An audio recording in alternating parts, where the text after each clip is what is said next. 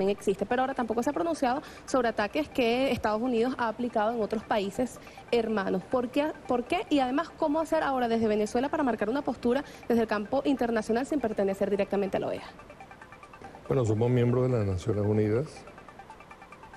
Aparte de nuestra figuración en estos anillos de seguridad que les comenté, tenemos la presidencia del movimiento de los no alineados, cosa que nos lleva a constatar que si bien estamos cercados, no estamos aislados. Somos un país con una enorme figuración internacional.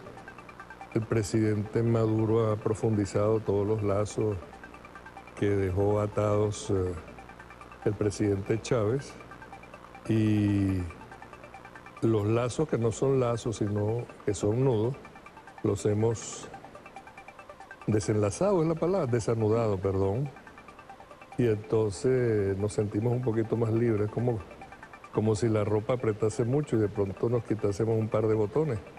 Entonces se siente muy, uno mucho más aliviado y eso es lo que creo que va a venir con esta decisión que además al aliviarnos de peso, al aliviarnos de atadura, nos va a permitir una mayor flexibilidad para el combate. Entonces el puño puede llegar más rápido que si estuviese... Hay mayor alcance. Exactamente.